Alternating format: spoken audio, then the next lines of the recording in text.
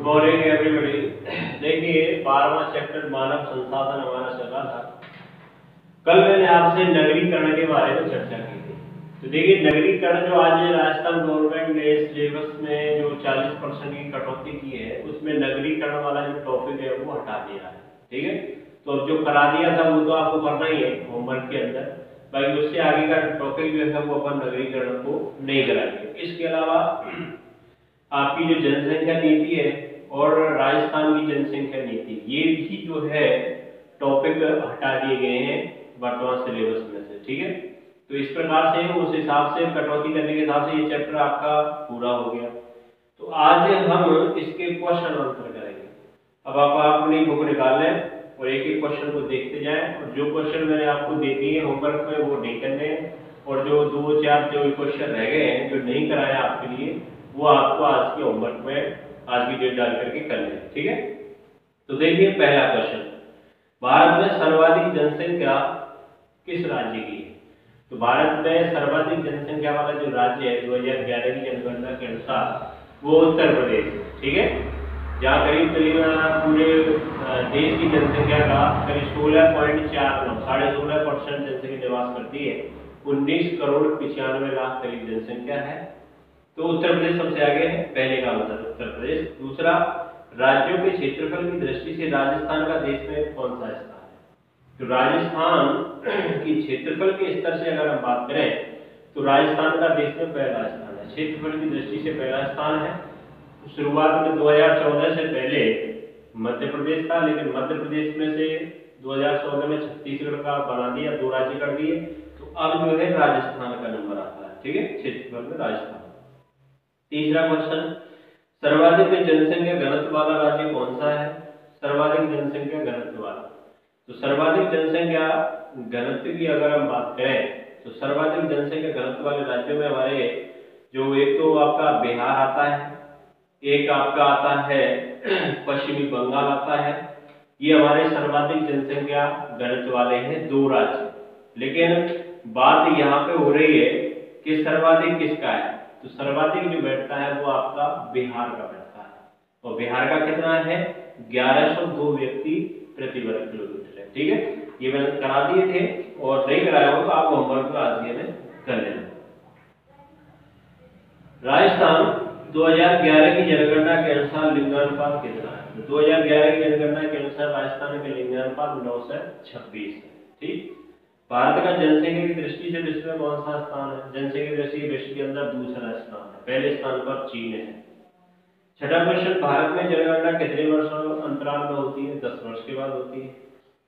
किसी देश या स्थान की जनसंख्या में वृद्धि या कमी का प्रमुख कारण क्या है? देखिए, किसी भी क्षेत्र की जनसंख्या में वृद्धि या कमी के तीन कारण होते हैं। जन्म दर मृत्यु दर और प्रवास ठीक, तीन। राजस्थान में सर्वाधिक जनसंख्या वाला जिला कौन सा है? जयपुर है। सर्वाधिक जनसंख्या नवा क्वेश्चन है जनसंख्या वृद्धि या परिवर्तन के तीन वही तीन प्रमुख का तीन घटक हैं, जन्म दर मृत्यु दर और प्रवास। ठीक है? लिंगानुपात क्या है? किसी देश या प्रदेश की जनसंख्या में स्त्री और पुरुषों की संख्या के अनुपात को लिंगानुपात कहते हैं। ये मैंने करा दिया है, दो अगला क्वेश्चन 2011 की जनगणना के अनुसार देश की साक्षरता दर कितनी है? देश की साक्षरता है बहत्तर पॉइंट ज़ीरो चार। ये क्वेश्चन मैंने करा दिया है। परिवार को आकार को सीमित रखने के हेतु सरकार ने कौन बहुत सारे कार्यक्रम चला रखे हैं। लेकिन ये क्वेश्चन सिलेबस से हटा दिया है तो इसको अपन को नहीं पढ़ना है। ये जनसंख्या नीति और उसके अंतर्गत आता है। तो तेरहवा क्वेश्चन राजस्थान का सर्वाधिक जनसंख्या घनत्व वाला जिला कौन सा है? वो है आपका जयपुर। ठीक है? पाँच सौ अठानवे व्यक्ति प्रति वर्ग किलोमीटर तो जयपुर आता है। लघुतरात्मक साक्षरता दर किसे कहते हैं?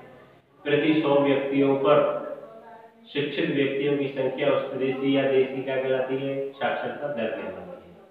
संसाधन किसे कहते हैं? ये मैंने डेफिनेशन लिखा भी दिए हैं कि प्रकृति द्वारा प्रदत्त भौतिक और रासायनिक गुण पदार्थ जो मानव के लिए उपयोगी होते हैं, संसाधन कहलाते हैं। तीसरा, जनसंख्या वृद्धि दर क्या है?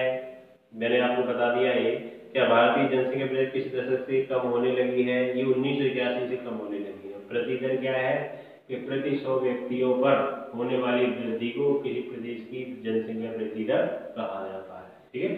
किसी देश या प्रदेश की जनसंख्या में प्रति सौ व्यक्तियों पर होने वाली वृद्धि को कुछ प्रदेश की जनसंख्या वृद्धि दर कहते हैं, और ये उन्नीस सौ इक्यासी से कम होने लगी है। क्यों होने लगी है? उसके पीछे बहुत सारे कारण है। परिवार नियोजन कार्यक्रम जैसे चलाए जा रहे हैं। इसके अलावा शिक्षा का स्तर लगातार बढ़ता चला जा रहा है। लोग जागरूक हो रहे हैं।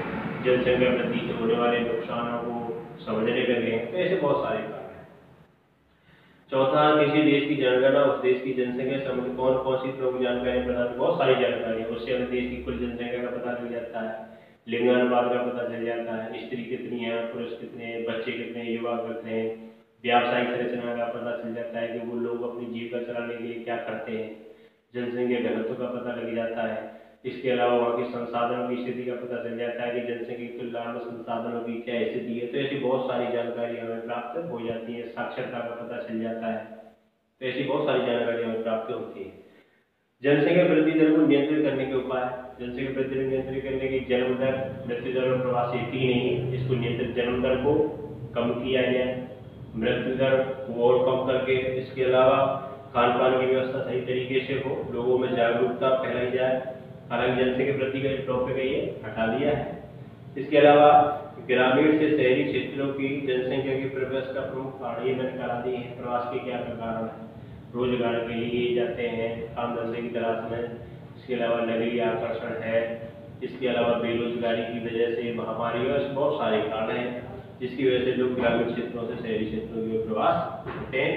तो आज मैंने क्वेश्चन आंसर करा दिए। कल अपन नए चैप्टर के साथ फिर आपके सामने आएँगे। नया चैप्टर शुरू करेंगे, आज के लिए इतना ही थैंक यू